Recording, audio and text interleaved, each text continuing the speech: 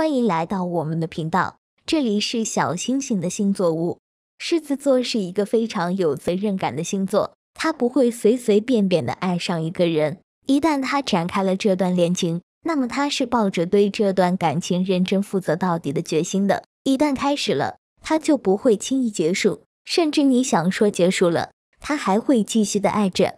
我们都知道狮子座是一个很理智的星座，他对生活、工作、对事业都理智的不行，唯独在感情里，他们像个疯子一样，只追求自己所爱，不在乎现实不现实的问题。如果他爱上了一个人，而这个人不爱他，他也愿意去追，愿意在一旁默默守候，甚至可以做出一辈子不恋爱的疯狂举动。他认为爱情是珍贵的，爱情是奢侈的，不应该随意将就。也不应该对对方不负责，他本着对自己负责，也对对方负责的原则去爱。如果对方觉得他的爱是一种负担，是一种压力，那么他会默默守候，不会让对方感觉到有任何的不舒服。至于他心里面的苦，可能只有他自己知道。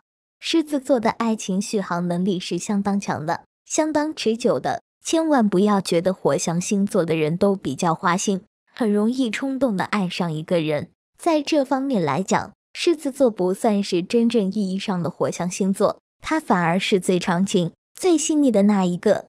如果狮子认定了一段感情，并且对方也爱上了他，那么对于狮子来说，这仿佛是上天赏赐给他的，他会加倍珍惜，用心去呵护。可能在相处的过程中，他还是有很多小脾气会发出来，有很多地方需要跟另一半去磨合。但无论怎么着，他都会很有耐心去陪伴着对方，不会轻易说出分手、说出再见这种话。两个人想要长久的在一起，就需要为彼此做出些牺牲和改变。这种情况下的狮子座就不会那么固执、那么倔强了。他愿意为了跟另一半更和谐的相处下去而做出改变，并且对方希望他做出的改变，他也会积极配合。只要是为了两个人好，狮子都愿意去改变。他真的很害怕，因为自己的原因导致两个人感情的破碎。只要对两个人的未来有益，他都会积极去做出改变。狮子座爱情的续航能力在火象星座里是绝对的第一名，在整个星座界也是前面的佼佼者。他们不光有爱人的能力，他们更有把爱情变成永恒的能力。所以被狮子爱是件很幸福的事。他会把你的事情当成自己的事情去看待。